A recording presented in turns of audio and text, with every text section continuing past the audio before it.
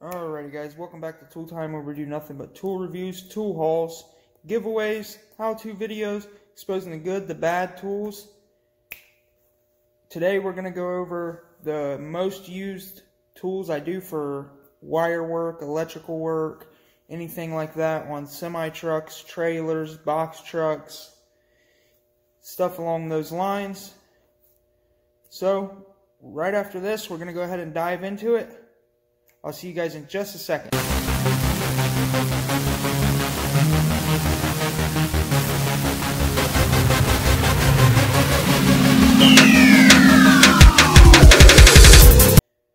Alrighty guys, thanks for tuning back into Tool Time.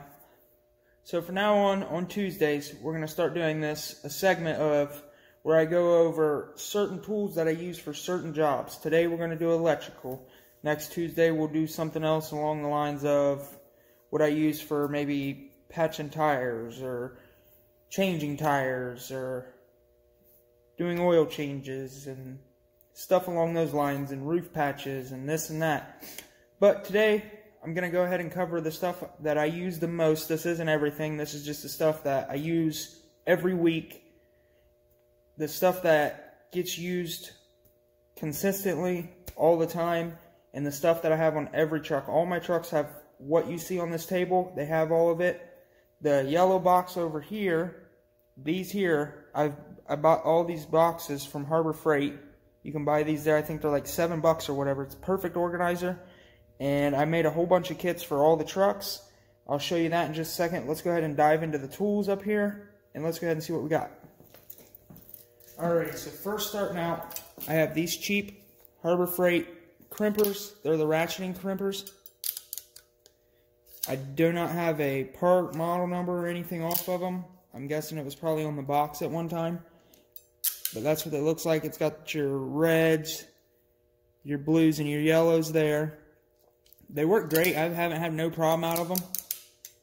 So it's kind of one of those things that are cheap, but they work, so I continue to use them. That's that.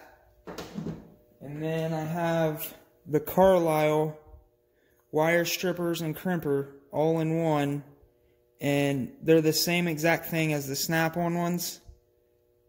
Let's see if I can get that to where it'll focus for you guys. There you can read that there. That tells you what it strips. Up here it'll tell you what it crimps. The lighting's not the best on there. Does the bare insulated 12 through 20 they're the Carlyle ones there's no part number on here that I see, or model number, anything like that. But you'll be able to find these if you just go to Napa or whatever and search Carlyle wire, Carlyle wire strippers or crimpers. They'll pop right up for you. This here is a snap-on. Everybody makes fun of it, says it looks like a little sewing tool. I use this for cutting wire looms or harnesses or whatever. They're perfect. Yes, you, you're to break one. I go through them all the time. But the Snap-on guy hands me a new one. I have to replace it probably at least once a month, we'll say. And he's always got an extra one ready for me. Nice little sharp point. This down in here is where the cutter is. It's very sharp. The part number on that, SGTT4A. Right there's all your information. And then we have your Harbor Freight quick strippers. They work great. Have no problems out of them. It's one of those things, again, that's cheap, but they work great. Everybody says I'm biased to Snap-on. No, I am not biased to Snap-on. I have plenty of tool brands. This right here is just something cheap from Harbor Freight. They work great, so I continue to use them. And, of course, the 12 volt test lights. And the part number on that is EECT400G. You can see it there. And then it just has your little display screen there. And it does ground and hot. Once again, this is the one that I have. I cannot find my straight cord one for some reason. But the straight, if you're going to buy one, definitely get a straight cord, not a coiled one. In my opinion. But you might like the coiled ones better.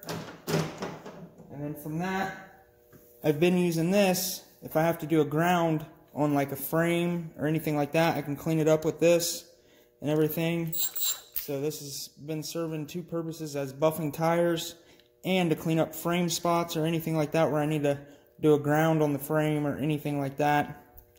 And this is your Milwaukee cordless die grinder. It's the 2 inch die grinder, right angle die grinder. Part number is 2485. There's all your information on that. And I just have Scotch-Brite pad on it with a 6.0 battery. I put all these batteries in my M12 so I can stand them upright in my boxes on my service truck. This here is a seven way. It's not the flat, it's the round pin one. And it has the hot and ground that go inside there. You hook this up to the batteries on the service truck, plug this into your trailer. It'll light all your lights up so you can make sure all the lights are working, all that good stuff.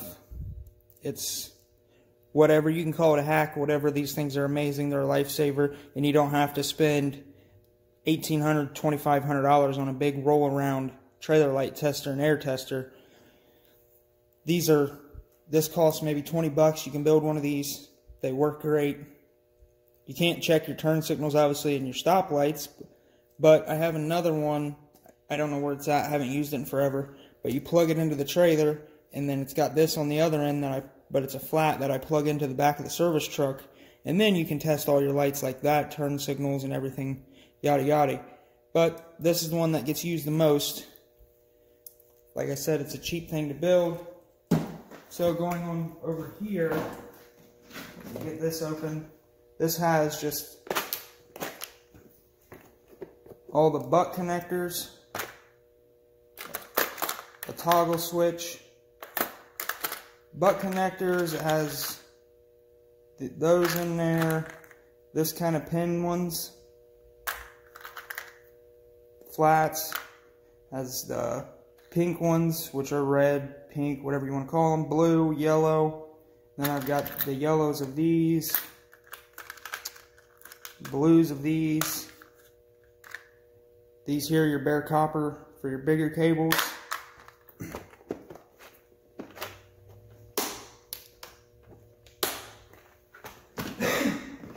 And then the second drawer is just a bunch of heat shrink, an assortment of heat shrink.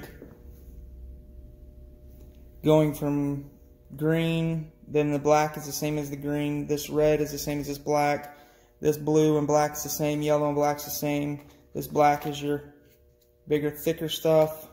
And I have a bunch of smaller pieces here. It's just your basic assortment of heat shrink.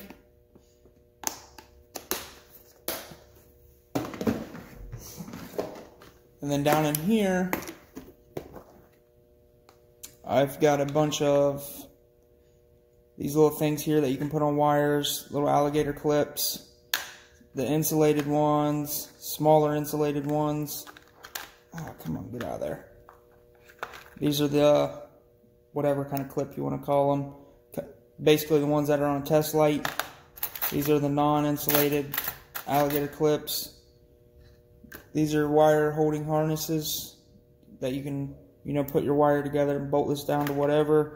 Got all different sizes of those in there from the biggest to the smallest.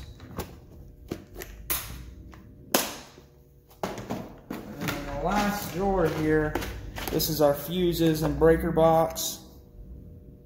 You know, we carry the 30 amp and 20 amp of these kind of fuses because they go in the seven way boxes on the front trailers. And then we just carry all of your big, your small, and your mini fuses in there.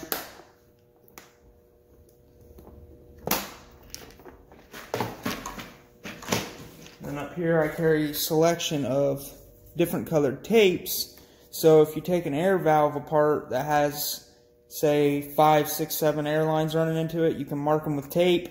That way you don't forget which one goes where. Or if you run out of tape, and you need more tape. I always carry just a bunch of different colors and a bunch of electrical tape with me. This up here is just overflow of butt connectors that I keep with me just in case. I have been big bins in the shop full of them, but I keep these on the truck just in case I get into a big wiring job and I need to do something or it needs to be done fast, I use butt connectors. I try to solder when I can solder, but not every, you're not going to get the solder on every job. Especially on a semi-trailer. And then there's another roll of red electrical tape. This is your Scotch 3M. Stuff's really, really sticky and good. And then I keep a roll of 7 to 6 millimeter 16 gauge wire. And then a roll of 14 gauge wire on the top of this. And I've also got a, where, I know I've got one in the shop somewhere. It used to be mounted on the wall. I don't know where it's at right now, but if you go to Harbor Freight, you can get a bin. It's like a rack, a wire spool rack.